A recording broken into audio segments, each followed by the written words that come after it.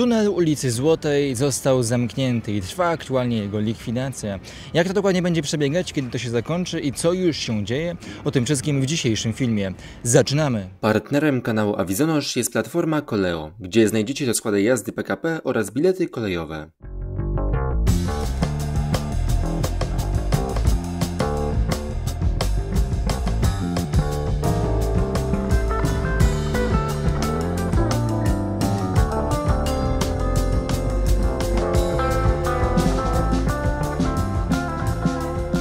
Warszawskie inwestycje.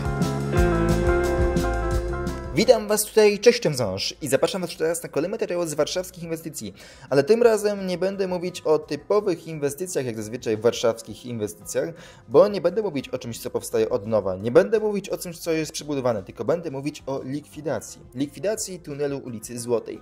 I w dzisiejszym filmie powiem Wam, jakie to wprowadziło zmiany w ścisłym centrum Warszawy, jakie to faktycznie ma konsekwencje i co jest tutaj planowane w przyszłości, bo faktycznie będzie też poprawione, jakie są inwestycje tutaj realizowane w ramach likwidacji tego tunelu, tunelu, co będzie tutaj realizowane w jego miejscu i kiedy się tutaj zakończą te wszystkie prace. Również powiem o tym, co się tutaj będzie działo w okolicy w ramach nowego centrum Warszawy, które po prostu zakłada likwidację właściwie jakiegokolwiek ruchu samochodowego w ścisłym centrum.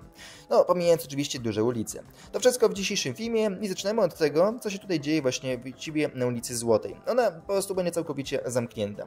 Dla ruchu samochodowego, jeżeli chodzi o jakąkolwiek możliwość przejazdu. Aktualnie został zamknięty tunel ulicy Złotej, ale już niedługo Najprawdopodobniej w okolicach września, października zostanie zamknięty też całkowicie ruch na ulicy Złotej pomiędzy tymi budynkami w miejscu, gdzie jest aktualnie pochylnia właśnie po drugiej stronie. Teraz wjeżdżamy do, do ulicy Złotej jeszcze na sam koniec czerwca.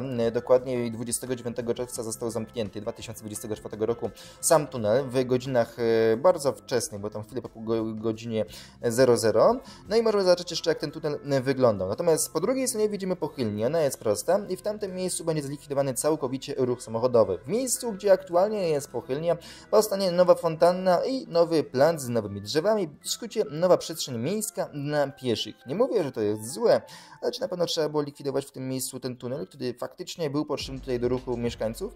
No może to nie jest zły pomysł, biorąc pod uwagę, że wszystkie ulice w okolicy nie będą właściwie miały miejsc żadnych parkingowych, będzie oczywiście parking pod Placem Powstańców Warszawy, który całkowicie będzie przejmować rolę, jeżeli chodzi o miejsca parkingowe w okolicy. Tylko trzeba pamiętać, że te miejsca parkingowe tam będą całkiem drogie. No ale jak coś będą, tak ten przynajmniej ratusz się tłumaczy. Jeżeli chodzi o sam stary tunel, no jak widzicie, on w nie był najlepszej kondycji. Oczywiście bruk był w różnym stanie i faktycznie się podskakiwało.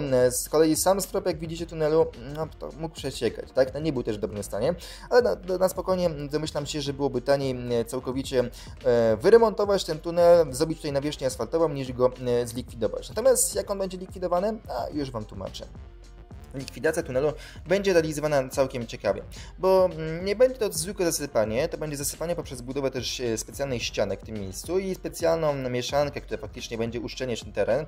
Nie można wyburzyć całkowicie tego tunelu, tylko faktycznie będzie rozebrane, jeżeli chodzi o całą instalację. Będzie specjalna wylana e, część betonowa i na tym będzie wysypany specjalny, e, specjalna mieszanina, która po prostu wzmocni ten tunel i nie będzie go w tym miejscu i będzie całkowicie zasypany po full, że tak to powiem. W skrócie nie będzie tam żadnej przestrzeni pustej, Pod, czyli zupełnie inaczej niż likwidacja przejść podziemnych na placu na rozdrożu. Dlaczego w ten sposób to jest realizowane? No bo inaczej trzeba byłoby zamknąć ruch na ulicy Marszałkowskiej. Chyba nie chcielibyśmy powrotu tak jak to było przy budowie drugiej linii metra przy stacji Świętokrzyskiej, kiedy ulica Marszałkowska była zamknięta. No właśnie, tego byśmy nie chcieli, a zamknięcie musiałoby potrwać co najmniej kilka miesięcy, dlatego też po prostu jest to realizowane poprzez całkowite zasypanie tej konstrukcji.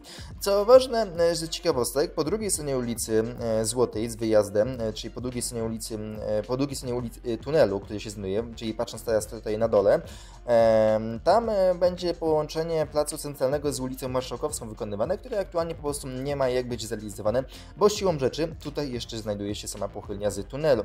Natomiast to nie oznacza, że całkowicie tunel może być zlikwidowany. W części wjazdowej od tamtych stron, od Pałacu Kultury i Nauki, znajduje się przestrzeń podstawowa stacja energetyczna, z tego co pamiętam, i ona musi być po prostu w tym miejscu pozostawiona. Do niej będą wybudowane specjalne schodki, żeby po prostu dało się tam dostać. O, właśnie o tych budynkach tutaj po prawo mówię. One po prostu w tym miejscu muszą pozostać i dlatego też do nich będzie zrealizowane specjalne zejście po schodkach. Niemniej sam tunel będzie całkowicie nieprzejezdny, zasypany i już właściwie to się dzieje. Zresztą to możecie zobaczyć za chwilę na kolejnych ujęciach z, z samego tunelu. No, ponieważ to są ujęcia historyczne, to nie mogę się oprzeć po prostu po sprawdzeniu, że na samym placu budowy nikogo nie ma i jest przestrzeń bezpieczna, żeby po prostu zrealizować parę parę takich ujęć bliżej, bo po prostu nie będzie już szansy później zrobić podobnych ujęć, bo po prostu tunel będzie całkowicie zamknięty i zlikwidowany, no i po prostu ta historia zniknie. Niemniej tak wygląda sam tunel w środku. Jak widzicie, w środku aktualnie powstaje e, taka ścianka, która będzie po prostu odgradzać różne przestrzenie i będzie też e, po prostu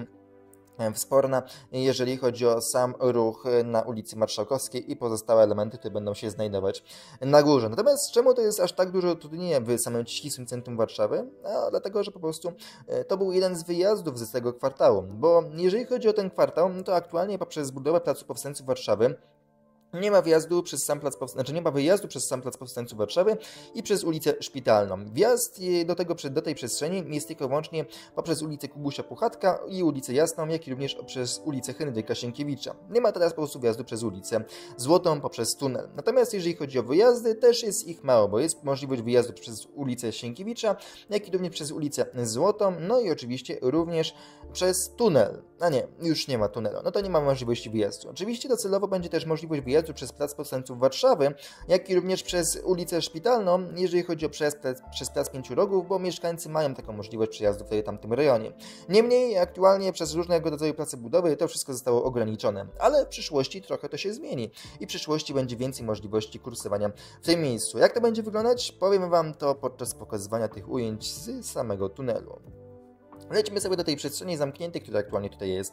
Możecie zobaczyć, że tutaj faktycznie trochę tej barykad jest, więc na spokojnie nie ma szans, żeby tutaj ktokolwiek wszedł. I bardzo dobrze, bo faktycznie ta przestrzeń jest teraz całkowicie wyłączona z ruchu i będzie likwidowana przez najbliższe miesiące. Natomiast docelowo w przyszłości, a to konkretnie w przyszłym roku, podczas budowy zielonego torowiska tramwajowego na ulicy Marszałkowskiej od ulicy Widok do ulicy Królewskiej ma być wybudowany nowy wyjazd z ulicy Sienkiewicza. Czytaj, będzie po prostu wyjazd z ulicy Sienkiewicza w kierunku lewo. Lewo skręt w ulicy ulicę Marszałkowską, jadąc dalej w kierunku Alei Rzymskich. Mało tego, będzie też wybudowana specjalna zawrotka w miejscu nad aktualnymi ujęciami. W skrócie, nad starym tunelem powstanie nowe przejście dla pieszych z przejazdem rowerowym, a przed samym przejściem dla pieszych i przejazdem rowerowym będzie możliwość zawrócenia dla samochodów, tak aby wjechać w ulicę Henryka Sienkiewicza, jadąc z ulicy Świętokrzyskiej poprzez ulicę Marszałkowską. W skrócie, trochę tutaj tych zmian będzie realizowanych, tak aby dało się dojechać do tego całego kwartału i jeszcze jakoś to funkcjonowało. Same przejście dla pieszych oczywiście będzie sygnalizowane sygnalizacją świetną, ale nie będzie oznaczało likwidacji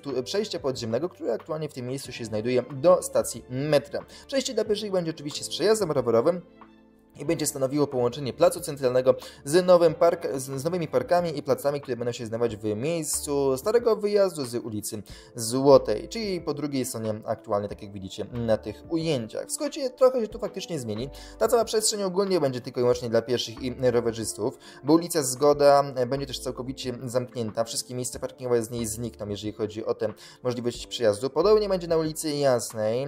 Jeżeli chodzi o ulicę Brokola, z tego co pamiętam, przejezdność na niej będzie, ale jeżeli chodzi o miejsce parkingowe, tego Wam nie powiem w tym momencie. Sam parking, jeżeli chodzi o skrzyżowanie ulicy Zło Złotej, Zgoda i Jasnej, będzie całkowicie zlikwidowany. Tam będzie kolejna przestrzeń miejska i prace przy tym mają się rozpocząć po wakacjach 2024. Czytaj mniej więcej jakoś we wrześniu październiku rozpoczną się tam faktycznie prace budowlane. I wtedy też oczywiście się zacznie kolejna seria, takie samo jak jest mm, pokazywana e, przebudowa Placu Pięć Rogów, a właściwie to już zostało zrealizowane, jak jest realizowana przebudowa Placu Powstańców Warszawy, ulica Chmielna, czy całe pozostałe inwestycje, które się dzieją w ścisłym centrum Warszawy. W skrócie, faktycznie ta przestrzeń będzie tylko wyłącznie dla pieszych, no bo jak całkowicie się zamknie, zlikwiduje wszystkie drogi, miejsca parkingowe, to gdzie te samochody mają jeździć, pomijając wszystkie dostawy? No właśnie, nie będzie nawet gdzie tutaj zostawić tych samochodów samochodów.